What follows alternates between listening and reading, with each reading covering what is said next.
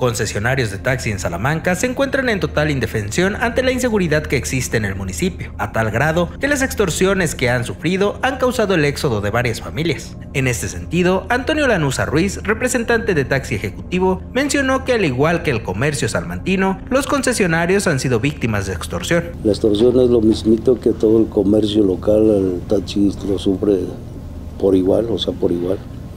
También tenemos varias llamadas de extorsión a varios concesionarios, ¿sí? Muchos de ellos inclusive ya no viven aquí, ya salieron, dejan sus carros trabajando y cuando el chofer se espanta, deja el carro abandonado.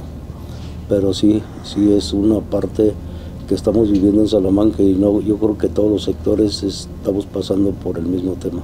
El representante transportista detalló que en lo que va de este 2024, al menos 100 concesionarios han recibido llamadas de extorsión, de los cuales el 50% ha pagado montos que van desde los 10 mil pesos hasta los 300 mil pesos. Sí fueron denunciados, este, nunca han sido esclarecidos, pero sí ha habido parte que la autoridad sabe de todo esto. Mira, todas las demandas se quedan por ahí, no sé si inhabilitadas o en proceso pero no hemos tenido respuesta alguna sobre alguna investigación o una terminación feliz para favor del taxista. Por otro lado, Antonio Lanusa mencionó que durante los fines de semana se registran por lo menos dos asaltos, y cuando disminuye esta incidencia es cuando los taxistas dejan de prestar este servicio. Para Enlace Noticias, Francisco Sosa.